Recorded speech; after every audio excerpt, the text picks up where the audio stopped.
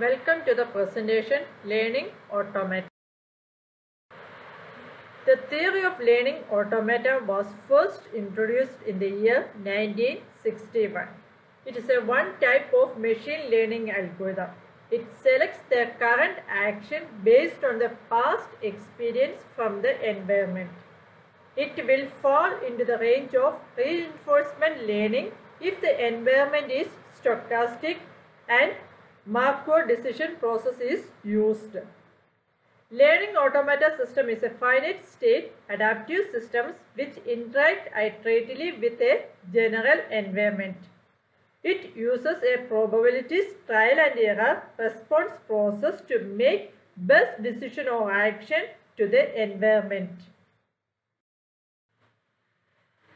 The learning automata model, it consists of two components.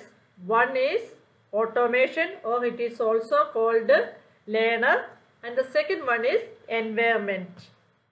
The system gets input from the environment. The environment chooses the one of the finite number of possible response from the automation. The environment receives and evaluates the response and provides some feedback to the automation in return. This feedback used to alter or improve the stimuli response mapping structure to improve its behavior. And this process is continuing through the process for solving there. For an example, suppose that a learning automata being used to learn the best temperature control settings for your office each morning or in your room each morning and it should uh, set the temperature as 25 degrees Celsius. It select one of the 10 temperature ranging settings being of each day. Without any prior knowledge of your temperature preference, the automation randomly select the first setting using the probability vector corresponding to the temperature settings. Since the probability value are uniformly distributed, any one of the settings will be selected with equally likelihood. After selected temperature are stabilized, the environment may respond with the simple good bad feedback response. If the response is good, the automata is or sorry, the automata will modify its probability vector by rewarding the probability corresponding to the good setting with positive increment and reduce all other probability proportionality to maintain the sum equal to 1.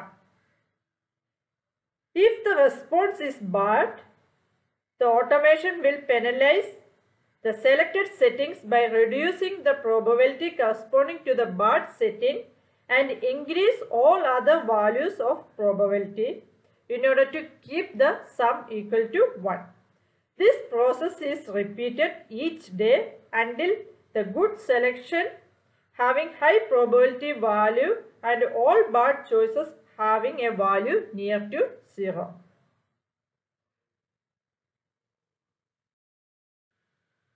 There's another form of uh, collective learning uh, automata.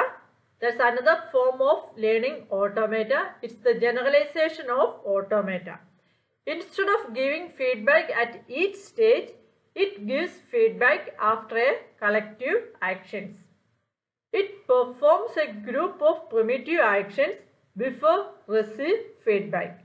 For an example, when you're parking a car, we need to get a feedback based on a set of actions like uh, moving the steering, uh, giving pressure to the accelerator uh, in order to move the wheels.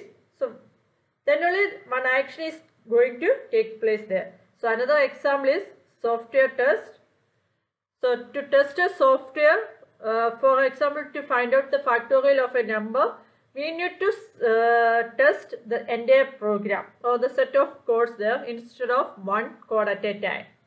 And there's another example is adaptive telephone routing or adaptive network routing that also we can use for collective learning automata. That's a generalized form of learning automata.